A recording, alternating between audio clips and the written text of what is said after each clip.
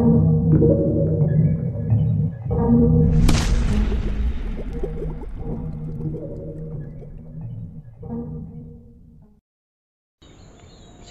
selamat pagi saudara terkasih.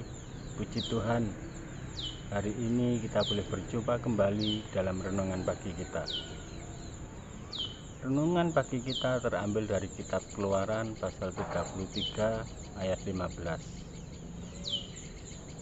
Berkatalah Musa kepadanya, "Jika engkau sendiri tidak membimbing kami, janganlah suruh kami berangkat dari sini."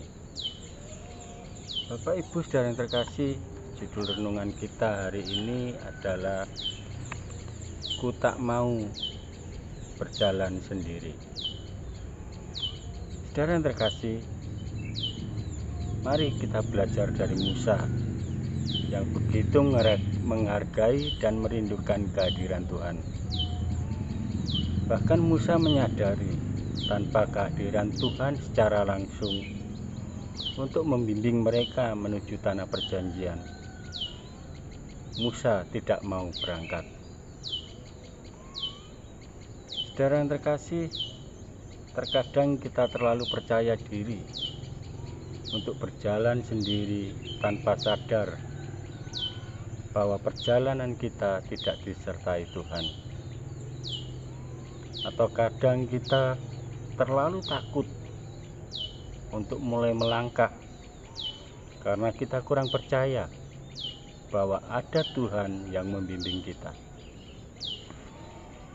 Bapak Ibu yang terkasih, mari hari ini kita meminta penyertaan Tuhan.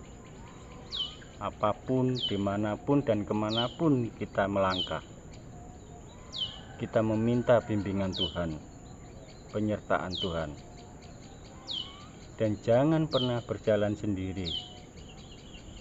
Pastikan ada Tuhan bersama kita, karena Tuhan sendiri sudah berjanji untuk selalu menemani dan menyertai kita. Haleluya, amin. Selamat pagi, selamat beraktivitas. Tuhan Yesus memberkati.